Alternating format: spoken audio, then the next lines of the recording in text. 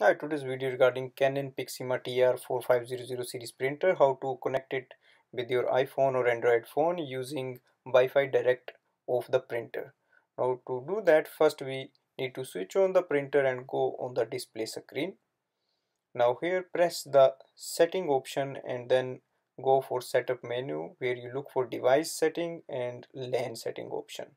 Now in Wi-Fi direct that is the wireless direct you just have to switch it on and once you switch it on look for security protocol and click yes and it will display a password. Now this is the wireless direct or Wi-Fi direct password of this printer so that you can use it uh, to with your iPhone or Android.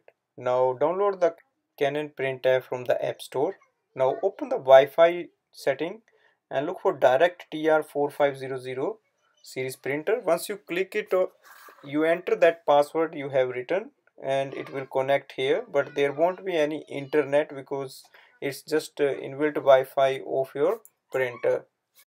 Now open the app and it will ask a permission to look for printer. So click on yes and uh, if no, you don't get this option then you can see the printer icon at the bottom. So click on that.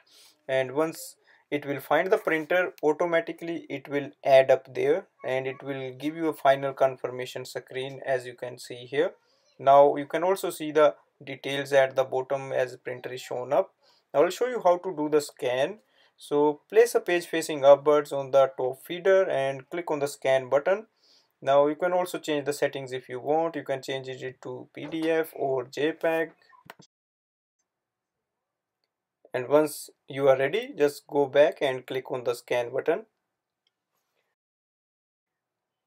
Now you will see it will transfer the image and it will be saved in a location. Once you click ok you can see this image here.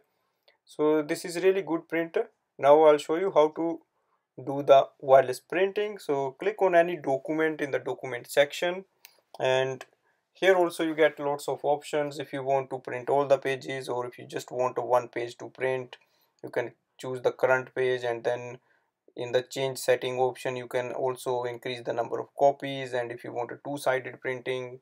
And once you are ready just click on the print print button and it will send a command and it will start to print. So you can see it's very easy to use the wireless direct system of this printer and it's really quick to connect and uh, you can add the printer quickly and you can start enjoying the wireless printing and scanning uses this printer. Hopefully you enjoyed the video and thanks for watching